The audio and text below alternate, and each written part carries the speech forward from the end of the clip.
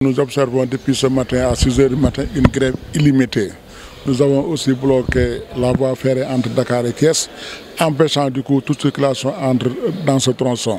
Vous savez, les salaires du PTB ne sont pas payés depuis deux mois. Et puis, ce qui est plus grave, l'État ne nous a montré aucune disposition pour pouvoir régler ce problème. Donc, du coup, vous voyez l'inquiétude des travailleurs du PTB et ça, surtout avec l'ouverture des classes. Et vous savez tout ce qui attend comme obligation pour un, un père de famille. Ce que nous avons observé maintenant, nous constatons que l'État veut nous déshonorer. Mais cependant, nous comptons nous battre jusqu'à ce que vraiment que notre dignité sera rétablie.